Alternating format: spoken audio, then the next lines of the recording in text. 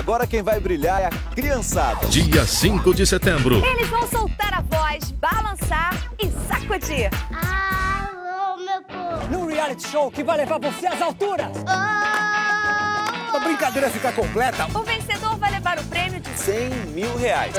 100 mil reais. 100 mil reais em prêmio! Uma nova estrela vai brilhar. Dia 5 de setembro. Você vai ver que talento não tem idade. Ídolos Kids, só aqui